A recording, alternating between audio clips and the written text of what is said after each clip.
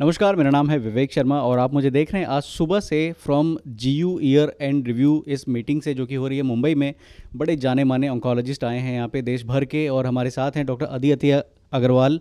Doctor Aditi जो है वो पारस हॉस्पिटल गुड़गांव से आई हैं, इतनी दूर से आई हैं। डॉक्टर साहब आई एम श्योर बहुत अच्छी अच्छी बातें हो रही है और कुछ नई ताज़ी घटना क्या हुई है, कुछ बताइए, किस बारे में आपका सेशन था, क्या अपडेट्स हुए हैं?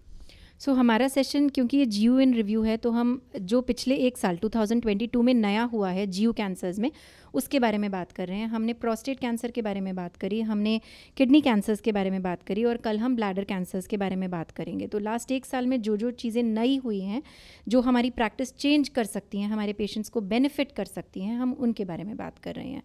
प्रोस्टेट कैंसर की अगर मैं बात करूँ तो एक इंपॉर्टेंट एब्स्ट्रैक्ट जो हमने डिस्कस किया कि प्रोस्टेट की एसबीआरटी एक टेक्निक होती है रेडिएशन की, जो हम यूज़ करते हैं जब हमें सिर्फ़ प्रोस्टेट को रेडिएशन देना है। कुछ सिलेक्ट ग्रुप ऑफ़ पेशेंट्स में जो फेवरेबल हैं, उनमें दे सकते हैं या नहीं, कितना बेनिफिशियल है इक्वलेंट है या नहीं आउटकम्स इस बारे में बात करी।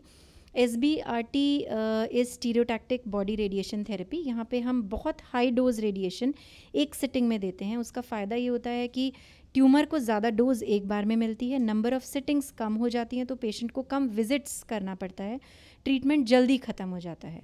So what we want to understand is and that is what we were discussing कि is it equivalent to giving the conventional form of radiation जो कि यूजली पाँच से छः हफ़्ते चलती है, जहाँ पेशेंट को पच्चीस से अट्ठाईस बार हॉस्पिटल आना पड़ता है।